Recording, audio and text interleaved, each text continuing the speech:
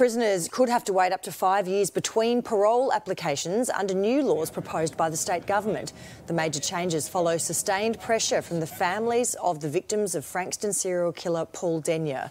The plan includes the introduction of minimum time limits between applications and proof prisoners have engaged in meaningful rehabilitation programs before applying.